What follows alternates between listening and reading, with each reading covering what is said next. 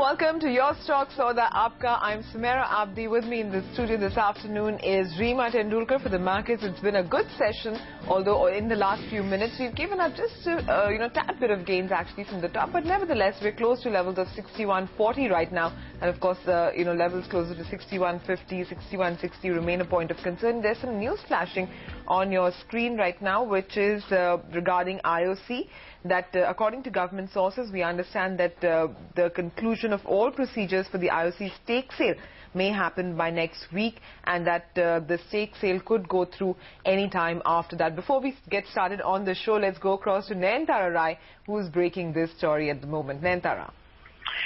Sumaira. So basically what I'm picking up from my government sources is that, you know, uh, mere formalities, procedures that have mm. to be followed for this uh, divestment to go through should be concluded by the end of next week. I understand that perhaps as early as uh, today itself, the Department of Disinvestment is likely to inform the market regulator, that, is likely to inform the market regulator that, uh, that this transaction is going to be offline.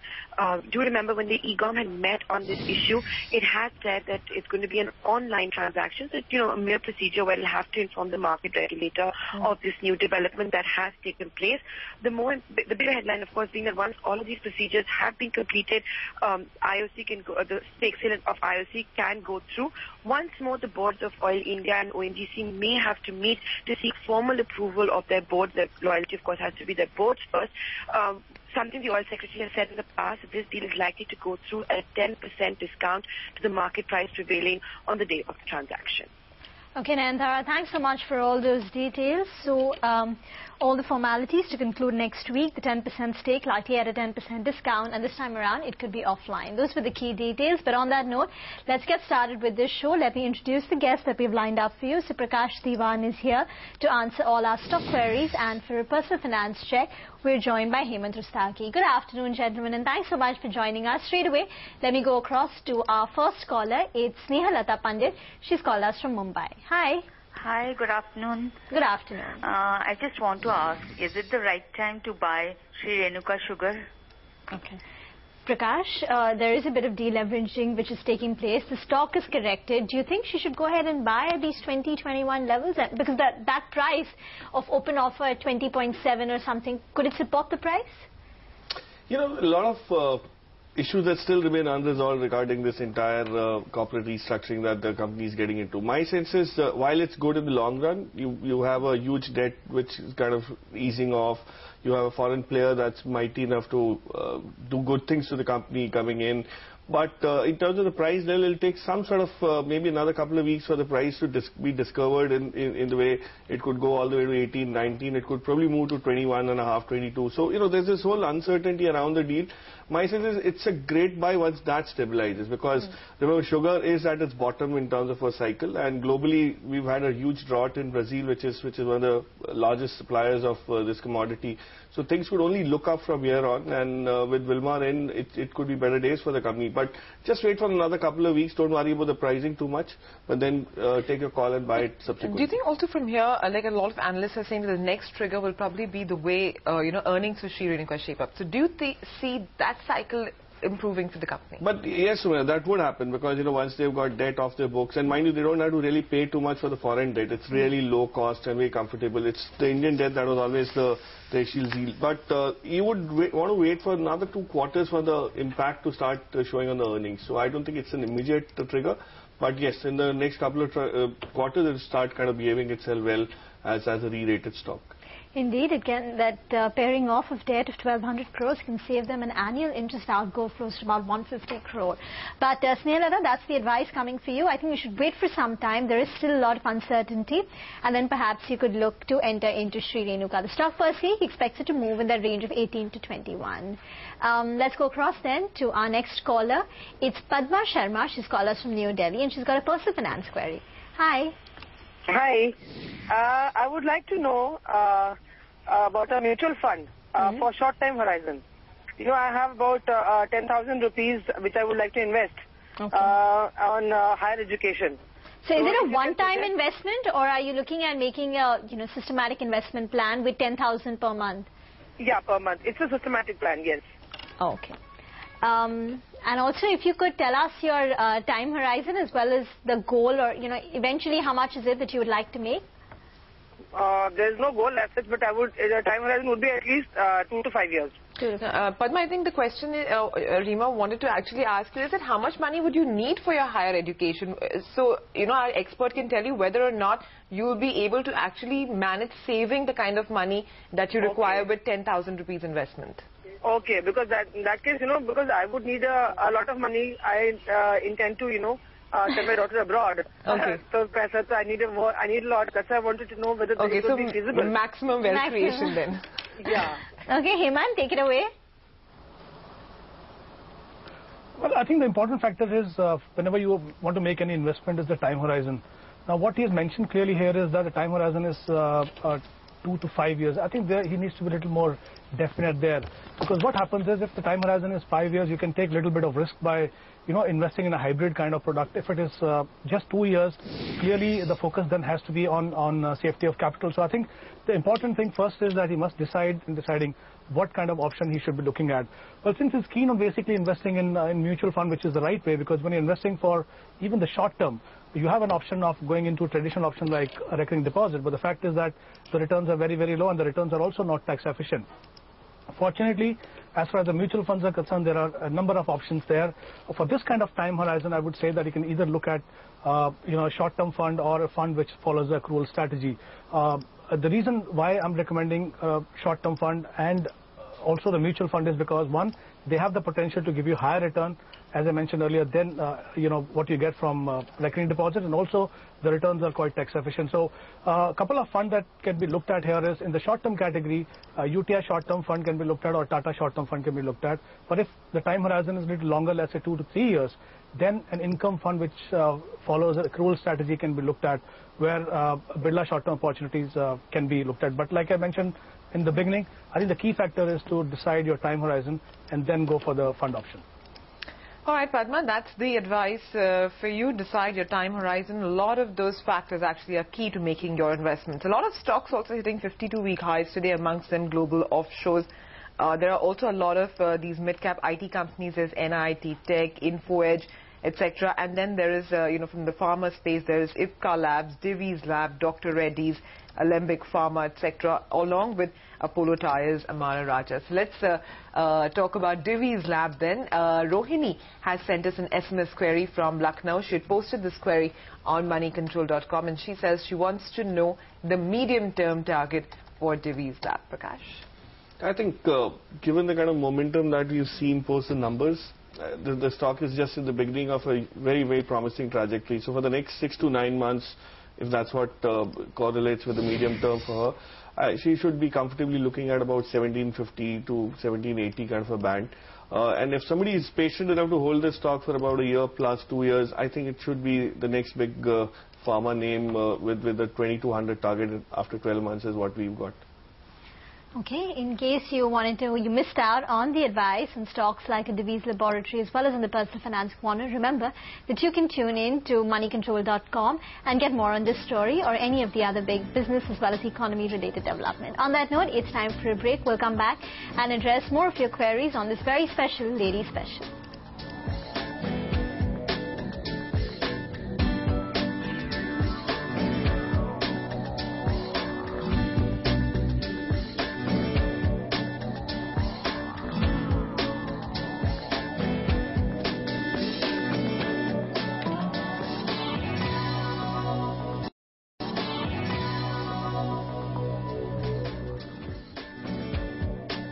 Welcome back. European markets have come off marginally from the high point of the day, close to about 0.3 or 0.4%. So the CAC and the DAX should be up for you on your screen, still holding up in the green, but just about with a gain of close to about 0.1%, and they're off from the highs. Um, apart from that, for our own market, it's been steady. It's just that the Nifty, in fact, as we speak, the CAC and the DAX have dipped into the red as well. Um, for our own market, it's largely steady, but it's faced some resistance around that 6150 mark. That's a level it's been unable to conquer. The high point on the Nifty stands at 6148. But let's go across and start answering our queries. We've got Reshma who's called us from Mumbai and she's got a question on PC Jewelers. Hi Reshma, good afternoon. Hi, I have a query. Well, I have 300 shares of PC Jewelers at the price of 96. Now, should I hold or should I sell? What would you recommend, Prakash? I think she just seems to have bought it. Uh, that's that's where the stocks kind of found itself in recent times. Uh, you know, if, if she has a long-term orientation, and Reshma, if I'm talking about at least the next two, three years, uh, you're comfortable holding on to this stock, then it makes sense to do that. Otherwise, if you're looking at a short-term quick trade of sorts to make some money on the basis of some announcement that have come for the organized uh, retail jewelry segment, I think there could be some disappointment uh, for the short term. But uh, over the longest period of time, this company could give you decent returns for the simple reason that it's competing with some of the best players and it has also benchmarked itself uh, in the same way with a decent growth rate as its target. They've invested a lot into infrastructure and quality. And given the new norms that the government is uh, unfolding for particularly standardizing uh, gold jewelry sales, uh, some of these branded players will definitely benefit uh, quite a bit. So PC Jewelers will definitely gain out of that, but as I said, the impact would take some time for, for it to translate into earnings and hence the price on the stock. So be patient and you could probably look at about 170, 180 uh, in the next couple of years. Uh, so till then it could be a volatile move, but uh, if you're patient enough, you should be getting your 30-35% annualized returns. But Prakash, uh, she spent roughly 3,000 rupees on this trade. Do you think she should have just bought one gram of gold? Which would have been a better bet. Yeah, no, but I somehow feel uh, uh, you know, while gold is definitely something that assures and gives you that conviction, uh, the jeweler business, the jewelry business will also grow if gold grows. So I'm sure she's not going to miss out on that upside uh, from gold as well. But that's a good idea. I mean, especially some women would probably like that uh, better than stocks. Okay, then um, that's the advice on PC Jewelers. Let's go across then to our next caller. It's Devashri Chaudhary. She's called us from Allahabad. Hi. Hi. Can you tell yeah, us your question? Yes. Yeah. yeah. Yeah, Devashri online. Hmm? Go ahead, we can hear you. Pardon? Can you no, tell I wanted to uh, might, uh, ask you about this my PPF account. Hmm? So I have want to have an account, uh, PPF account, and how do I go about it? And what are the uh, benefits for this uh, PPF uh, thing? Hemant? No, Well, let me begin with the benefits of PPF. I would say that PPF is one of the best options on the debt side of the portfolio, especially if the intent is uh, to invest for the long term. In fact, I would say, you know, PPF scores over many other options in, uh, more than one ways. I mean, one, uh, you know, your money is absolutely safe. Uh, second, you get guaranteed return. Currently, PPF is offering a return of around 8.7. But uh, remember that these, uh, uh, the return that they offer, the interest that they offer is, you know, announced every year, so that will keep on changing uh, from year to year. Uh, then uh, th- there are tax benefits of investing in PPF. For example, if you invest in PPF, you get tax exemption- under Section 80C, and also the interest that comes is absolutely tax-free. So, uh, if the intent is to invest for the long term, I think I think PPF is uh, one of the best options that you can have. Uh, opening PPF account is uh, very easy. You can actually approach, uh, you know, any designated branch of State Bank of India or its subsidiary or uh, a bank or uh, post office, and it's very simple process to open that account. You will, however, you will require, uh, you know, proof proof of identity and as well as the proof of address. So, so some of the things that you need to carry with you in original is like your PAN card, your ration card, or Aadhaar card if you have, or your electricity bill. I think these are the things if you have, you should not have a problem in opening PPF uh, account. But remember that you can only have one PPF account in your name. All right, uh, that's the word. Uh, good time then to be opening PPF accounts because every year we hear that perhaps uh, you know new entries into PPF would not be allowed.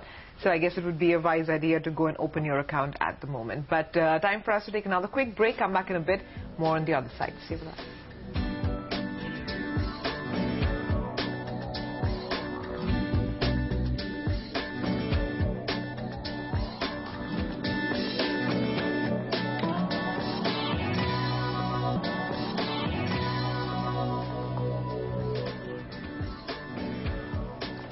welcome back. Just about 61.30 being held on the Nifty coming off of the highs, but nevertheless, it's a 42-point gain at the moment. Let's talk about some stocks then. Gunjan is on the line with us from Ranchi, and she has a query on HDFC. Hi, Gunjan.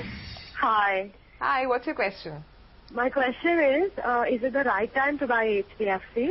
Okay, and why particularly HDFC, or do you like or would like to bet on anything from the financial space? Actually, I'm a new investor, so I don't know too much about the market. Okay, so you think HDFC is then a steady uh, choice for you. Yeah. Uh, Prakash, uh, good call to buy HDFC at the moment, or do you think there could be further lower levels which she could use to buy? But I, I guess that holds for any stock, uh, so she should definitely be ready for that. But I think HDFC is a great way to start your equity uh, career of sorts uh, as an investor. And uh, a few reasons uh, that I can highlight very quickly. One, that the company's uh, had a stellar track record and a great pedigree, so you're in very safe hands when you hand over your money to buy a share of that company. Secondly, the company's growth going forward, while it's been a little bit muted in the past couple of quarters thanks to the slowdown in the entire industry, is very clearly looking at uh, about 18 to 19 percent uh, for this financial year coming forward on the FY15 basis, which means they will definitely do much better than a lot of other players, and that's a decent growth rate for a company of that size. And the reason why they'll be able to do that is more because they're focusing on retail loans and not so much on commercial construction finance and stuff like that. So I think it's a great company at decent margins. So we could probably look at a target of 1,000, which is which is also nice to wait for and make your money and uh, rejoice once you've done that. So, uh, but but make sure that you do it patiently enough and it's not in a hurry that you're looking at making money from an HDFC. Okay, that's a pretty substantial 25% upside on HDFC if you do get that 1,000 rupees um, target. But uh, let's address another query that we have. Running out of time, Chandni has sent us an SMS from Nagpur. She can invest 40,000 per month. Her goals are children's education, child's education, and marriage. So she would like to know uh, which SIP mutual funds she should be investing this in. Um, Hemant, while we do not know what the time horizon for her goals would be, but um, what would you recommend? 40,000 per month. Well, essentially, if you look at both the goals like child education and marriage, uh, they are essentially long-term goals. I'm assuming that if, the, if there are a time period of 13 to 15 years, if, if uh, you know, uh, investment is being started at, at the right stage, uh, then clearly I think uh, it is important to choose a right asset class because one, like I said, there is you have enough time to make it grow and also these goals are very important. We generally require a large corpus to achieve these goals. Uh, so my recommendation would be to you know invest through SIP in well-diversified equity funds. Yes, equity funds can be volatile, but the fact that you are investing for a longer term and also investing systematically, the volatility is actually taken care of over a period of time. So assuming an annualized return of uh, 12%, uh, I would say that the, for the first goal of uh, education, I think she needs to invest around 11,000 rupees, and for the second goal of uh, marriage, around 7,000. So I think with an investment of 18,000, if the investment con- is continued for this defined time horizon, the goals uh, should be achieved. Uh, uh, the balance money can be allocated to some of the goals, or if she wants to have more uh, in, in this kitty, uh, the more can be added to this. Some of the funds that can be considered here are HDFC Equity, which is a multi-cap uh, fund can be looked at, IDFC, uh, IDFC Premier Equity, ICICI Focus Blue Chip, and Birla Sun Life Frontline Equity. So there are three or four funds which can be considered. Like I said, the focus should be on investing in well-diversified funds. All right, uh, that's uh, another uh, idea actually for planning your goals. But uh, on that note, Prakash and Hemant, we'll have to thank you. Thanks very much for joining in this afternoon. Prakash, thanks for coming all the way to our studios. But uh, do remember, viewers, if you have any stock queries, you can always log on to moneycontrol.com, post your query there. You can also log on to the Money Control message board and send us your question over there. But do stay tuned. Closing bell will be with you in just a bit.